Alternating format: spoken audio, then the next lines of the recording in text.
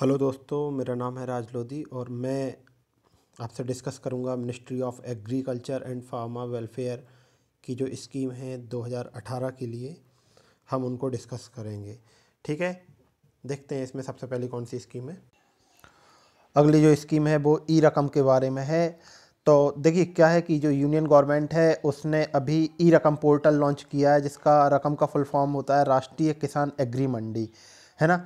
तो ये एक टाइप के पोर्टल होते हैं, एक ऑनलाइन प्लेटफॉर्म होते हैं, जो कि किसी भी गाँव का छोटे से छोटा किसान या कहीं का भी जो किसान है, वो अपने एग्रीकल्चरल जो प्रोड्यूस है, उसको कंट्री के किसी भी मार्केट में बेच सके।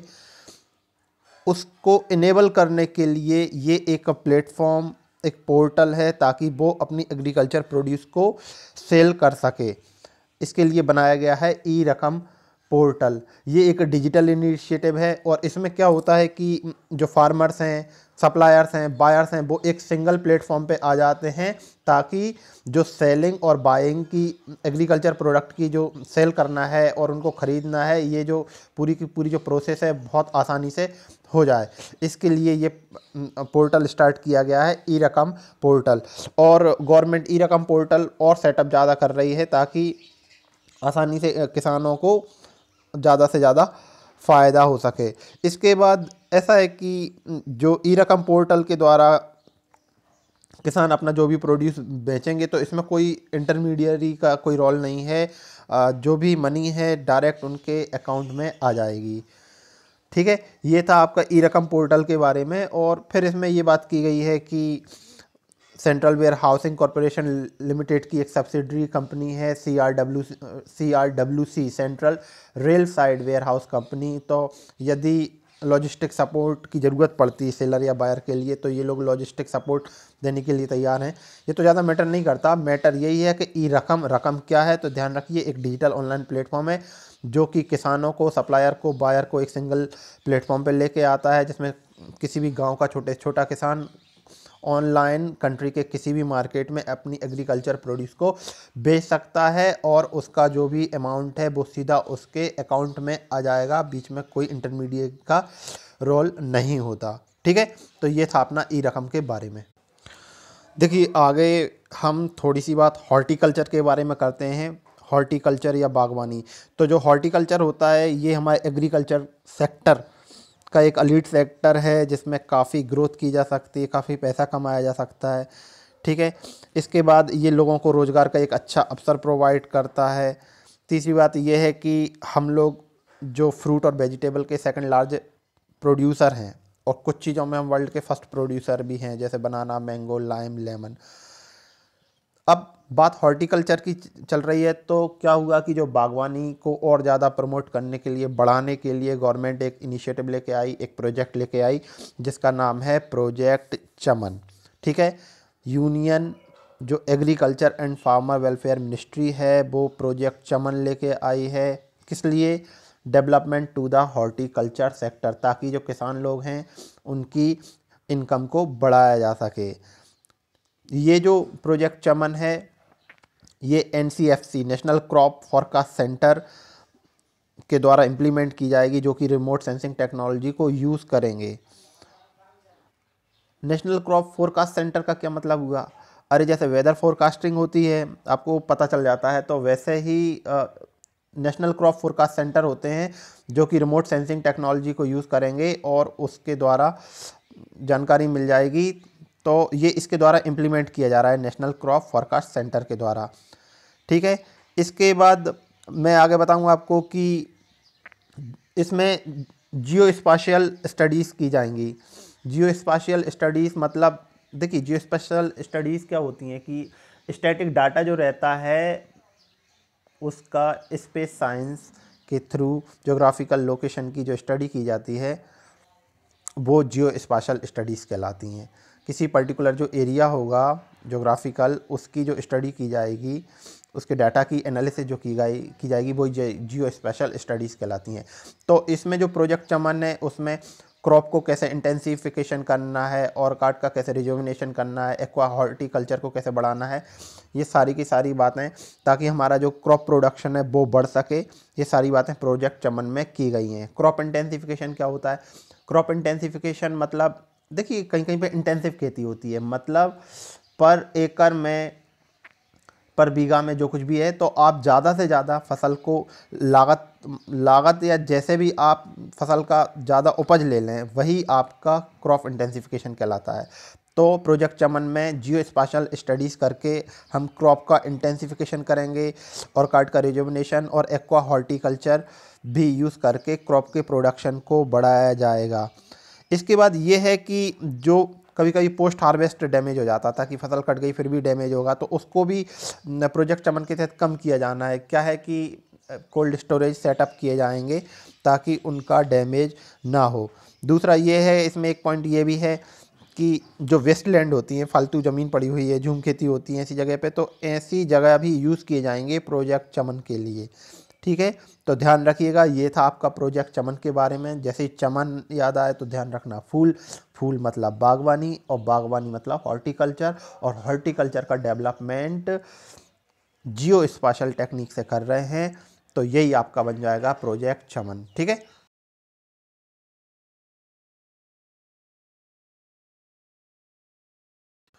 अगली जो स्कीम है वो है N P S T A national programme on use of space technology for agriculture. तो देखिए, अभी हम बात कर रहे थे टेक्नोलॉजी की, स्पेस टेक्नोलॉजी की, ये भी उसी से जुड़ी हुई अगली स्कीम है। तो सिंपल सी बात ये है कि इसमें भी इसका नाम पड़े national programme on use of space technology for agriculture. तो इसमें भी स्पेस टेक्नोलॉजी का यूज़ किया जा रहा है एग्रीकल्चर को प्रमोट करने के लिए, ठीक है? तो इस स्कीम में स्पेस और जियो जो टूल्स हैं जिनके द्वारा मैपिंग की जाएगी, मॉनिटरिंग की जाएगी, एग्रीकल्चर का मैनेजमेंट किया जाएगा, वो सब किया जाता है इस इस स्कीम में। ठीक है? इस स्कीम के चार सब प्रोग्राम भी हैं तो जो स्पेस टेक्नोलॉजी एग्रीकल्चर को बढ़ाने के लिए यूज़ की जा रही है, उसमें चार सब कैटेगरी हैं। एक कैटेगरी में क्रॉप का असेसमेंट और मॉनिटरिंग की जाएगी, फिर दूसरे में एग्रीकल्चर रिसोर्स का मैनेजमेंट किया जाएगा, तीसरे में डिज़ास्टर की कोई कंडीशन बनती है तो उनको मॉनिटर और मिटिगेट किया जाएगा, और चौथे में सैटेलाइट से कम्युनिकेशन करके नेविगेशन एप्लीकेशन कंडक्ट किए जाएँगे। तो स्पेस टेक्नोलॉजी फॉर एग्रीकल्चर, ये प्रोग्राम था। कुछ और भी अभी करंट में प्रोग्राम चल रहे हैं जो कि स्पेस टेक्नोलॉजी यूज़ करके एग्रीकल्चर को प्रमोट कर रहे हैं। जैसे कि एक प्रोजेक्ट फ़सल है जो क्रॉप की फॉरकास्टिंग के लिए यूज़ होता है। प्रोजेक्ट नाडाम्स है ड्रॉट असेसमेंट के लिए, चमन की हमने अभी बात की कि हॉर्टिकल्चर के लिए था, उसका असेसमेंट और डेवलपमेंट के लिए। और प्रोजेक्ट किसान, जिसमें क्रॉप की इंटेंसिफिकेशन की प्लानिंग की जाए, है ना? तो ये था आपका national programme on use of space technology for agriculture. Short में फिर रिवाइज कर रहा हूँ, इसमें एग्रीकल्चर को प्रमोट करने के लिए स्पेस टेक्नोलॉजी का यूज़ किया जाएगा। स्पेस टेक्नोलॉजी को यूज़ करते हुए मैपिंग की जाएगी, मॉनिटरिंग की जाएगी, एग्रीकल्चर का मैनेजमेंट किया जाएगा। इसमें चार सब प्रोग्राम है, जिसमें एक में क्रॉप असेसमेंट और मॉनिटरिंग की जाती है, दूसरे में एग्रीकल्चर जो रिसोर्सेज रहते हैं उनका मैनेजमेंट किया जाता है, फिर थर्ड में डिज़ास्टर की मॉनिटरिंग और उनको मिटिगेट करने के प्लान किए जाते हैं। और लास्ट में सैटेलाइट का कम्युनिकेशन करके नेविगेशन के एप्लीकेशन कंडक्ट किए जाते हैं। चार इसके सब प्रोग्राम भी हैं, चार इसके ऐसे प्रोजेक्ट भी हैं जो अभी करंट में रनिंग हो रहे हैं, जो कि आपकी स्पेस टेक्नोलॉजी को यूज़ कर रहे हैं, जिसमें प्रोजेक्ट फ़सल, चमन, किसान नडम ठीक है? तो मैंने ये सब बताया। ध्यान रखिएगा इसको। अगली जो स्कीम है वो है मिशन फिंगर लिंक के बारे में। तो मिशन फिंगर लिंक की बात बाद में करेंगे। सबसे पहले तो फिंगर लिंक का मतलब समझ लीजिए, जो फिंगर लिंक रहता है, इसका मतलब होता है मछली का बच्चा। ठीक है? तो सिंपल सी बात है, ज़ाहिर सी बात है, मछली के बारे में बात होने वाली है। देखिए, क्या है कि एक वेरियस टाइप के रिवोल्यूशन होते हैं। ग्रीन रेवोल्यूशन होता है वाइट रिवोल्यूशन होता है।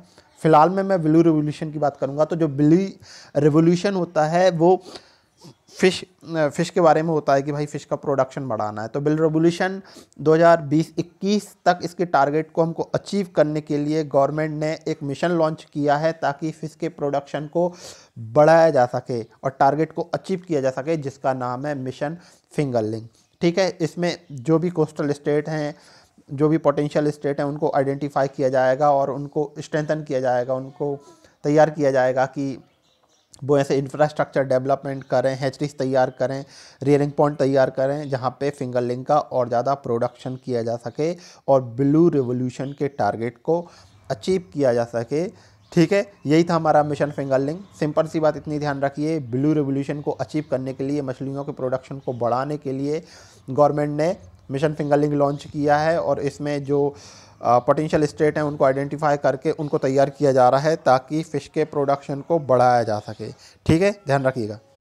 अगली जो स्कीम है, वो है national mission on agriculture extension and technology देखिए, जो एग्रीकल्चर की फ़ील्ड है, यदि उसमें जो मशीनरी है, यदि अप्रोप्रिएट उनको टेक्नोलॉजी दी जाए फार्मर्स को और उनको सही इम्प्रूवड एग्रोनॉमिक प्रैक्टिसेस के बारे में बताया जाए क्वालिटी के सीड अवेलेबल कराए जाएँ, प्लांट का प्रोटेक्शन किया जाए तो इन सारी जो मेथड्स हैं इनके थ्रू जो किसान लोग हैं, वो अपना जो प्रोडक्शन है उसको और ज़्यादा बढ़ा सकते हैं। इसी को लेके ये मिशन है, जिसका नाम है national mission on agriculture, extension and technology. तो इसमें जो एक्सटेंशन किया जाता है, टेक्नोलॉजी का मशीनरी प्रोवाइड की जाती है, उनको अप्रोप्रिएट टेक्नोलॉजी के बारे में बताया जाता है, उनको इम्प्रूव्ड एग्रोनॉमिक प्रैक्टिसेस के बारे में बताया जाता है उनको इंटरेक्टिव मेथड के बारे में बताया जाता है। ऐसी मेथड जो कि ज़्यादा पॉपुलर हैं अप्रोप्रिएट टेक्नोलॉजी के बारे में बताया जाता है। क्वालिटी सीड अवेलेबल कराए जाते हैं। प्लांट का प्रोटेक्शन के बारे में बताया जाता है ताकि वो अपना एग्री एग्रीकल्चर का जो प्रोड्यूस है, उसको बढ़ा सकें। ठीक है? ये था अपना national mission on agriculture extension and technology बाकी फिर ये बातें कि इसके चार सब मिशन हैं कि पहला है सब मिशन ऑन एग्रीकल्चरल एक्सटेंशन दूसरा हो गया सब mission on seed and planting material, third one is submission on agricultural mechanization, and fourth one is submission on plant protection and plant quarantine. ध्यान रखिएगा, ये था हमारा, है ना? National mission on agriculture extension and technology agriculture को extend करने के लिए टेक्नोलॉजी प्रोवाइड करके ज़्यादा से ज़्यादा प्रोड्यूस करने के लिए ये मिशन था। National mission on agriculture extension and technology ठीक है? तो दोस्तों, ये था हमारा आज का डिस्कशन हम देख लेते हैं आज हमने क्या क्या डिस्कस किया. सबसे पहले हमने बात की थी ई रकम पोर्टल के बारे में. सोचिए रकम पोर्टल में क्या बताया था मैंने. जो रकम पोर्टल था, उसमें कोई भी गाँव का छोटे छोटा किसान है, वो अपना जो एग्रीकल्चर प्रोड्यूस है, वो ऑनलाइन प्लेटफॉर्म के थ्रू ऑक्शन के थ्रू कहीं पर भी बेच सकता है. इस पोर्टल के थ्रू बायर सेलर सब एक साथ आ जाएँगे. ठीक है? और किसान को जो पैसा है, वो डायरेक्ट उसके खाते में मिलता है। दूसरी बात की थी मैंने प्रोजेक्ट चमन के बारे में, जिसमें हॉर्टिकल्चर की बात की गई थी और जिसमें हम जो जियो स्पाशल टेक्निक थी, उसको यूज़ करके क्रॉप का इंटेंसिफिकेशन करके हॉर्टिकल्चर के प्रोडक्शन को बढ़ाने वाले थे। फिर हमने बात की थी national mission on use of space technology for agriculture. तो जिसमें मैंने बताया था कि स्पेस टेक्नोलॉजी को यूज़ करके एग्रीकल्चर को कैसे प्रमोट करना है। उसके भी चार मिशन, चार सब मिशन थे, उसमें प्रोजेक्ट भी थे। उसके चार सब प्रोग्राम में ये बताया था कि हमको क्रॉप का असेसमेंट और मॉनिटरिंग करना है, डिज़ास्टर की मॉनिटरिंग और मिटिगेशन करना है, सैटेलाइट का कम्युनिकेशन करना है। इस टाइप की बातें थी। फिर मैंने बात की मिशन फिंगरलिंग के बारे में तो मैंने बताया था कि मछलियों के प्रोडक्शन को बढ़ाने के लिए ब्लू रिवोल्यूशन के टारगेट को अचीव करने के लिए जो मिशन आया था, वो था मिशन फिंगरलिंग और आज का लास्ट मिशन था national mission on agriculture extension and technology तो मैंने बताया था कि एग्रीकल्चर एक्सटेंशन को बढ़ाने के लिए, विस्तार देने के लिए टेक्नोलॉजी का यूज़ किया जाएगा। यदि किसानों को अप्रोप्रिएट टेक्नोलॉजी प्रोवाइड किए जाए, सही क्वालिटी का सीट प्रोवाइड किया जाए उनको एग्रोनॉमिक सही सही एग्रोनॉमिक प्रैक्टिसेस के बारे में बताया जाए जो कि उनके लिए अप्रोप्रिएट हों तो एग्रीकल्चर का प्रोडक्शन बढ़ाया जा सकता है। ठीक है? तो ये था हमारा आज का discussion thank you thank you very much